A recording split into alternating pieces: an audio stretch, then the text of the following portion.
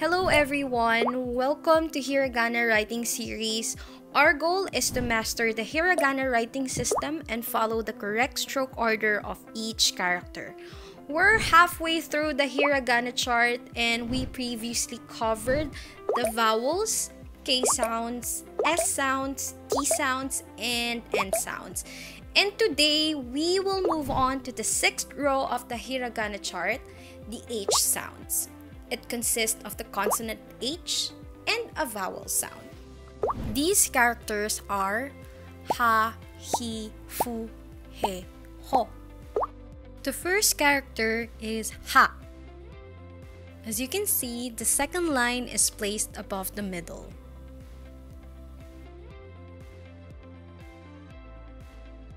The next character is hi.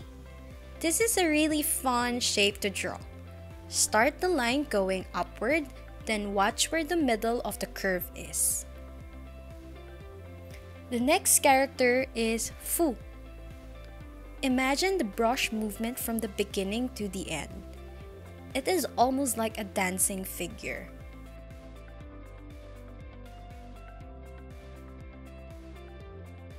The next character is He. This is as easy as it looks. Make the corner before it reaches the center. And the last character is Ho.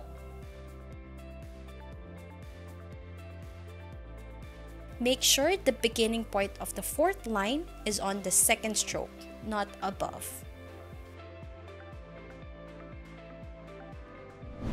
With these five characters, you can already write many words such as ha, ka, haka, which means two. Hi, hu, hifu, skin.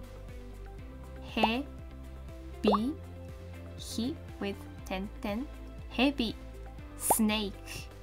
And ho, shi, hoshi, Now we're done with the first six rows of the hiragana chart. Thank you so much guys for watching. Like and subscribe for more hiragana and katakana lessons.